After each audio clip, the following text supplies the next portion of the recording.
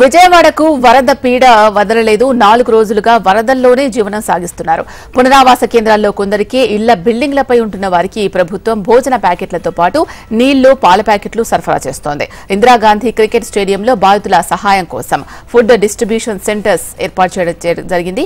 వరద ప్రభావిత ప్రాంతాల్లో శానిటేషన్ సమస్యలు తలెత్తకుండా వివిధ జిల్లాల నుంచి ఏడు వేల మంది పారిశుద్ధ్య కార్మికులను విజయవాడకు తీసుకొచ్చామని అంటున్న. మంత్రి నారాయణతో మా ప్రతినిధి చిరంజీవి ఫేస్ టు ఫేస్ వరద బాధితులకి ఆహారం అందించడానికి ఇక్కడ మున్సిపల్ స్టేడియంలో ఏర్పాటు చేశారు. ఇక్కడ ఆహార పదార్థాలు ఎక్కడి నుంచి సప్లై చేస్తున్నారు? మనతో మంత్రి నారాయణ గారు ఉన్నారు. ఆయన అడిగి మరింత సమాచారం తెలుసుకుంటాం. అండి ఈ వరద బాధితులకి యాక్చువల్గా ఈ సమస్య విషయమై రెండు ఒకటి ఫుడ్ తినడానికి నీరు కావాలా? దానికి ఎటువంటి ఇబ్బంది లేకుండా చేసాం నిన్నైతే పదకొండు లక్షల ఫుడ్ ప్యాకెట్లు పంపిస్తే ఒక లక్ష ప్యాకెట్లు వెనక్కి వచ్చినాయి. అలా యాక్చువల్గా చేయడం జరిగింది.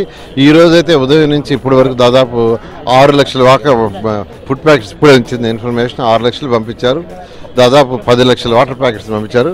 ఇవాళ సాయంకాలానికి ముప్పై లక్షల వాటర్ ప్యాకెట్స్ కానీ వాటర్ బాటిల్స్ కానీ పంపిస్తున్నాం. సార్ ఇప్పుడు శానిటైజర్ ప్రాబ్లం రాకుండా ఎటువంటి జాగ్రత్తలు తీసుకుంటారు?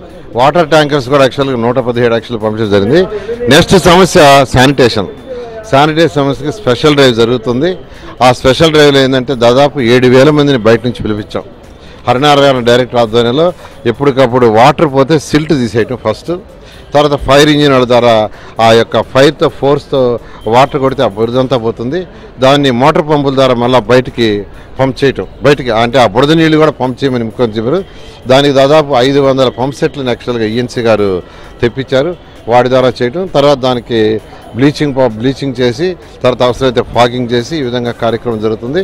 వన్ వీక్లో అన్ని రోడ్లు గతంలో ఉన్నట్టుగా నార్మల్గా ఎక్కడన్నా పాట్ హోల్స్ అయిపోయినా అవి కూడా క్లీన్ చేయడం జరుగుతుంది. సార్ ఫుడ్ ఎంతవరకు సప్లైలో ఉంది? ఎంత నిల్వ ఉంది?